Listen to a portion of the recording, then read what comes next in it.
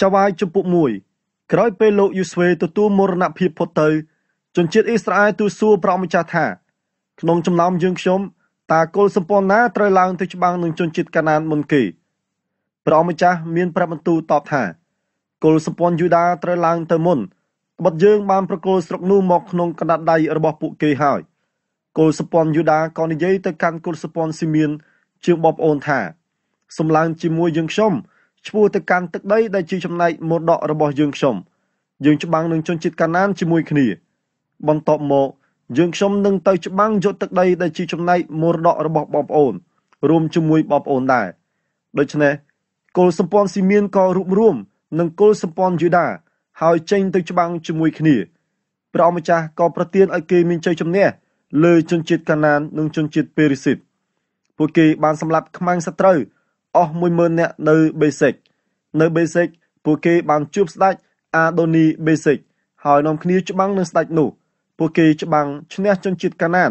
និងជនជាតិពេរីស៊ីតស្ដេចអាដូនីបេសិកក៏រត់ភៀសខ្លួន តែត្រូវពួកគេដេញតាមចាប់បាន ហើយកាត់មេដៃនិងមេជើងរបស់ស្ដេចទៀតផងស្ដេចអាដូនីបេសិកមានរាជអង្គការថា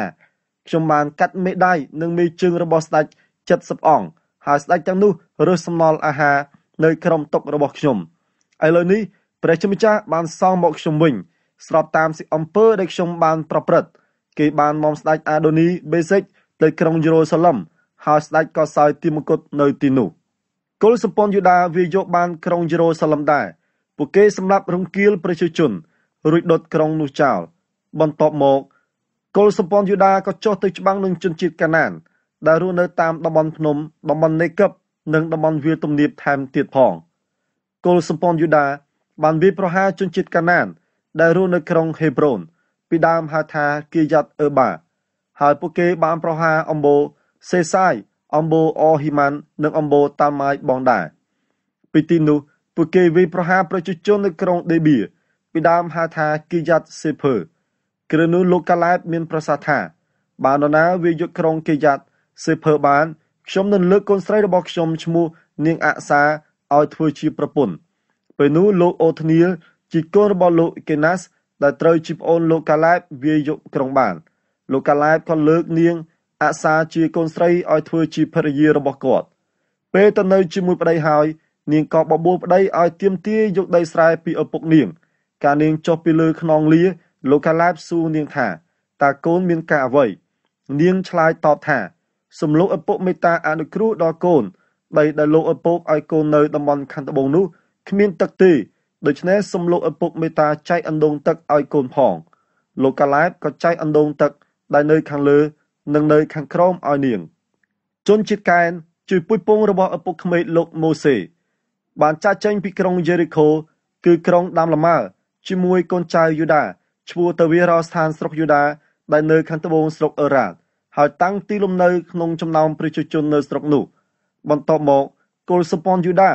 រួមជាមួយគោលសម្ព័ន្ធស៊ីមៀនជាបងប្អូននាំគ្នាចេញទៅច្បាំងជាមួយជនជាតិកាណាន នៅក្រុងសេផាតពួកគេបំផ្លាញក្រុងនោះថ្វាយផ្ដាច់ដល់ព្រះអម្ចាស់រួចហៅក្រុងនោះថាហោម៉ាគោលសម្ព័ន្ធយូដាក៏វាយយកបានក្រុងកាសា ក្រុងអាស្កាឡូននិងក្រុងអេក្រុនព្រមទាំងទឹកដីដែលនៅជុំវិញក្រុងទាំងនោះផងព្រះអម្ចាស់គង់នៅជាមួយគោលសម្ព័ន្ធយូដា ហើយប្រទានឲ្យពួកគេត្រួតត្រាលើតំបន់ភ្នំប៉ុន្តែពួកគេពុំអាចបណ្ដេញប្រជាជនដែលរស់នៅតាមតំបន់ជ្រលងភ្នំបានទេព្រោះអ្នកទាំងនោះមានរទេះចម្បាំងធ្វើអំពីដែរពួកគេបានប្រគល់ក្រុងហេប្រូនជូនលោកកាឡែបដោយលោកម៉ូសេបានបង្គាប់ទុកហើយលោកកាឡែបក៏បណ្ដេញអំបូអណៈទាំង3រួចកាន់កាប់ក្រុងនោះទៅរីឯកុលសប៉ុនបេនយ៉ាមីនវិញគេមិនបានបណ្ដេញជនជាតិយេប៊ូសដែលរស់នៅក្រុងយេរូសាឡឹមទេដូច្នេះ ជនជាតិយេប៊ូក៏រស់នៅជាមួយកុលសម្ព័ន្ធបេនយ៉ាមីននៅក្រុងយេរូសាឡឹមរហូតដល់សប្តាហ៍ចំណែកឯពុជពងរបស់លោកយូសាប៊ីងក៏ចេញទៅច្បាំងនៅក្រុងបេតអាដែរហើយព្រះម្ចាស់គង់នៅជាមួយពួកគេដំបូងគេបញ្ជូនមនុស្សឲ្យទៅស៊ើបមើលទីក្រុងនោះ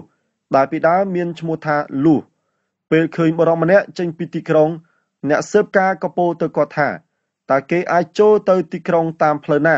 ចូលប្រាប់យើងមកយើងនឹងប្រណីដល់អ្នក បរិងនោះក៏បង្ហាញផ្លូវចូលទៅទីក្រុង ពួកគេប្រហារជីវិតអ្នកក្រុងនោះដោយមុខដាវតែគេទុកឲ្យបរិងនោះនៅគ្រួសារក៏ទាំងមូលចាក់ចេញទៅ បរោះនោះបានធ្វើដំណើរទៅស្រុកហេតហើយសង់ក្រុងមួយ ដែលគាត់ដាក់ឈ្មោះថាលូសជាឈ្មោះដែលគេហៅរហូតដល់សប្តាហ៍រីឯកុលសពនម៉ាណេសេវិញគេមិនបានបណ្ដេញពួកអ្នកស្រុកដែលរស់នៅក្រុងបេតសៀនក្រុងតាណាក់ក្រុងដាវក្រុងជីបឡាមនិងក្រុង មេគីដោព្រមទាំងតំបន់នានាជុំវិញក្រុងទាំងនោះទេដូច្នេះជនជាតិកាណានក៏រស់នៅក្នុងស្រុកនោះតទៅទៀតពេលជនជាតិអ៊ីស្រាអែលមានកម្លាំងគេពុំបណ្ដេញជនជាតិកាណានចេញពីនោះទេ តែគេបង្ខំពួកនោះឲ្យធ្វើការជាទម្ងន់កុលសពនអេប្រាអ៊ីមក៏មិនបានបណ្ដេញជនជាតិកាណានដែលរស់នៅក្រុងកេសឺដែរដូច្នេះពួកនេះក៏រស់នៅក្នុងចំណោមកុលសម្ព័ន្ធអេប្រាអ៊ីមនៅក្រុងកេសឺតទៅទៀត កុលសម្ព័ន្ធសាមយូឡូនក៏មិនបានបណ្ដេញអ្នកស្រុកគីត្រូន និងអ្នកស្រុកណាហាឡាលចេញពីស្រុកនោះដែរ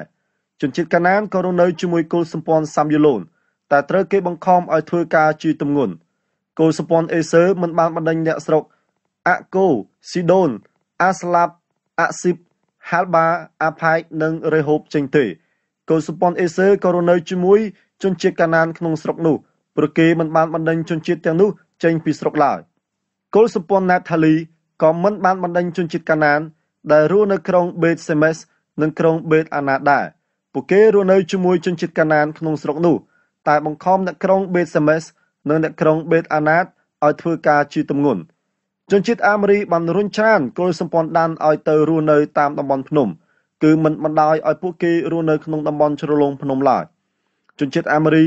រស់នៅក្នុង Heres អាយ៉ាឡូននិងសា ប៊ីមប៉ុន្តែក្រោយមកពុជពងរបស់លោកយូសែបមានកម្លាំងត្រួតត្រាលើពួកគេនិងបង្ខំពួកគេឲ្យធ្វើការជាទម្ងន់រីឯដែនដីរបស់ជនជាតិអាមេរីនោះលាតសន្ធឹងពីច្រកភ្នំអាក្រាប៊ីមគឺចាប់តាំងពីផ្ទាំងថ្មសិលាឡើងទៅចវាយជំពូក2នៅគ្រានោះទេវតារបស់ព្រះម្ចាស់បានឡើងពីគិលកាលទៅបូគីមហើយពោលទៅកាន់ប្រជាជនអ៊ីស្រាអែលថាយើងបានយកអ្នករាល់គ្នាចេញពីស្រុកអេស៊ីប ហើយនាំចូលមកក្នុងស្រុកដែលយើងបានសន្យាជាមួយបុព្វបុរសថាប្រគល់ឲ្យអ្នករាល់គ្នា យើងបានប្រាប់ហើយថា យើងនឹងមិនផ្ដាច់សម្ព័ន្ធមេត្រីដែលយើងចងជាមួយអ្នករាល់គ្នាឡើយរីឯអ្នករាល់គ្នាវិញមិនត្រូវចងសម្ព័ន្ធមេត្រីជាមួយប្រជាជនស្រុកនេះទេត្រូវរំលំអាសនៈទាំងឡាយរបស់គេចោលប៉ុន្តែអ្នករាល់គ្នាមិនស្ដាប់យើងសោះហេតុអ្វីបានជាអ្នករាល់គ្នាប្រព្រឹត្តបែបនេះដូច្នេះយើងសូមប្រាប់អ្នករាល់គ្នាថា យើងនឹងមិនបណ្ដេញអ្នកស្រុកនេះចេញពីមុខអ្នករាល់គ្នាឡើយពួកគេនឹងក្លាយទៅជាគូសត្រូវរបស់អ្នករាល់គ្នាហើយអ្នករាល់គ្នានឹងធ្លាក់ទៅក្នុងអន្ទាក់នៃព្រះនានារបស់ពួកគេនៅពេលឮទេវតារបស់ព្រះម្ចាស់ពោលដូច្នេះជនជាតិអ៊ីស្រាអែលទាំងអស់ក៏នាំគ្នាទ្រហោយំគេដាក់ឈ្មោះកន្លែងនោះថាបូគីមហើយនាំគ្នាថ្វាយចាញ់បូជាដល់ព្រះម្ចាស់លោកយូស្វេបានឲ្យប្រជាជនវិលត្រឡប់ទៅវិញ ជនជាតិអ៊ីស្រាអែលក៏នាំគ្នាទៅចាប់យកចំណែកទឹកដីដែលជាមរតករបស់គេរៀងរៀងខ្លួនពួកគេគោរពបម្រើព្រះម្ចាស់ក្នុងអំឡុងពេលដែលលោកយូស្វេមានជីវិតនៅឡើយក្រោយលោកទទួលមរណភាពផុតទៅ គេនៅតែគោរពបម្រើព្រះអង្គតទៅទៀតក្នុងអំឡុងពេលដែលពួកចាស់ទុំនៅរស់នៅឡើយដែរគឺចាស់ទុំដែលបានឃើញការអស្ចារ្យដ៏ឧត្តមឧត្តមដែលព្រះម្ចាស់បានធ្វើចំពោះជនជាតិអ៊ីស្រាអែលលោកយូស្វេដែលជាកូនរបស់លោកណូន និងជាអ្នកបម្រើរបស់ព្រះម្ចាស់បានទទួលមរណភាពក្នុងជំនាយុ110ឆ្នាំគេបានបញ្ចុះសពរបស់លោកនៅក្នុងទឹកដីដែលជាចំណែកមរតករបស់លោក នៅធីមណាតហេរ៉េសក្នុងតំបន់ភ្នំអេប្រាអ៊ីមខាងជើងភ្នំអាកាសមនុស្សចំនួននោះក៏ទៅជួបជុំនឹងដូនតារបស់គេដែលចែកស្ថានទៅហើយហើយមានមនុស្សមួយចំនួនទៀតកាត់មកតាមក្រោយ អ្នកទាំងនេះមិនបានស្គាល់ព្រះម្ចាស់ហើយក៏មិនស្គាល់ស្នាព្រះហស្ថ ដែលព្រះអង្គបានធ្វើចំពោះអ៊ីស្រាអែលដែរជនជាតិអ៊ីស្រាអែលប្រព្រឹត្តអំពើអាក្រក់ដែលមិនគបព្រះハរតីព្រះម្ចាស់ដោយនាំគ្នាគោរពបម្រើព្រះបាលពួកគេបានបោះបង់ចោលព្រះជាម្ចាស់ជាព្រះនៃបុព្វបុរសរបស់គេដែលបាននាំគេចេញពីស្រុកអេស៊ីបមកគេបែរទៅគោរពព្រះផ្សេងផ្សេងទៀតក្នុងចំណោមព្រះនានារបស់ប្រជាជន ដែលរស់នៅជុំវិញពួកគេពួកគេក្រាបថ្វាយបង្គំព្រះទាំងនោះជាហេតុបណ្ដាលឲ្យព្រះម្ចាស់ទ្រង់ព្រះពិរោធ ពួកគេបានបោះបង់ចោលព្រះម្ចាស់ទៅគោរពបម្រើព្រះបាលនិងព្រះអាស្ថារ៉ូតវិញព្រះម្ចាស់ទ្រង់ព្រះពិរោធនឹងជនជាតិអ៊ីស្រាអែលយ៉ាងខ្លាំងព្រះអង្គប្រគល់ពួកគេទៅក្នុងកណ្ដាប់ដៃរបស់ពួកចៅព្រៃនិងប្លន់យកទ្រព្យសម្បត្តិពួកគេព្រះអង្គប្រគល់ពួកគេទៅឲ្យខ្មាំងសត្រូវនៅជុំវិញយកទៅធ្វើជាទាសករពួកគេពុំអាចទប់ទល់នឹងខ្មាំងសត្រូវបានទៀតឡើយរាល់ពេលដែលពួកគេចេញទៅច្បាំងព្រះម្ចាស់ធ្វើឲ្យពួកគេបារតជ័យជានិច្ច ដោយទ្រង់មានព្រះបន្ទូលប្រមានរួចស្រេចហើយដូច្នេះពួកគេកាត់ទុកវេទនាយ៉ាងខ្លាំងគ្រានោះព្រះម្ចាស់បានធ្វើឲ្យពួកចៅវាយក្រោកឡើងរំដោះពួកគេឲ្យរួចពីកណ្ដាប់ដៃរបស់ចៅព្រៃប៉ុន្តែពួកគេមិនស្ដាប់បង្គាប់អស់លោកចៅវាយជាអ្នកដឹកនាំរបស់ខ្លួនឡើយពួកគេនាំគ្នាក្បត់ព្រះជាម្ចាស់ទៅគោរពថ្វាយបង្គំព្រះដទៃពួកគេឆាប់ងាកចេញពីមេគារបស់ពពកបរោះគឺពួកគេពុំបានប្រតិបត្តិតាមបទបញ្ជារបស់ព្រះម្ចាស់ ដោយពួកពពកបរោះទេ ពេលព្រះម្ចាស់តែងតាំងចៅវាយណាម្នាក់ឲ្យដឹកនាំពួកគេព្រះអង្គគង់ជាមួយចៅវាយនោះហើយរំដោះពួកគេឲ្យរួចពីកណ្ដាប់ដៃរបស់ខ្មាំងសត្រូវក្នុងមួយជីវិតរបស់លោកត្បិតព្រះម្ចាស់អាណិតមេត្តាពួកគេ នៅពេលឮពួកគេស្រែកធ្ងោដោយខ្មាំងសត្រូវសង្កត់សង្កិននិងធ្វើបាបលុះចៅវាយនោះទទួលមរណភាពផុតទៅ ពួកគេនាំគ្នាប្រព្រឹត្តអំពើអាក្រក់សាជាថ្មីលើសដូនតាទៅទៀត ពួកគេបាយទៅគោរពបម្រើ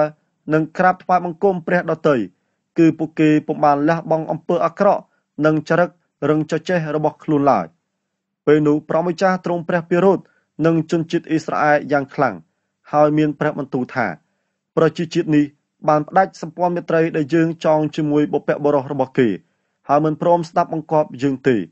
ដូច្នេះយើងក៏នឹងមិនបណ្ដេញប្រជាជាតិណាមួយ ក្នុងចំណោមប្រជាជាតិនានាដែលយូស្វេទុកឲ្យនៅសល់ក្រោយពេលគាត់ស្លាប់ទៅនោះឡើយយើងនឹងប្រើប្រជាជាតិទាំងនោះដើម្បីលបងលោមើលឲ្យដឹងថាតើអ៊ីស្រាអែលដើរតាមមេគារបស់យើងដោយបុព្វបុរសរបស់គេឬយ៉ាងណាព្រះម្ចាស់ទុកប្រជាជាតិទាំងឡាយដែលព្រះអង្គមិនបានប្រគល់ទៅក្នុងកណ្ដាប់ដៃរបស់លោកយូស្វេឲ្យរស់នៅក្នុងស្រុកតទៅមុខទៀត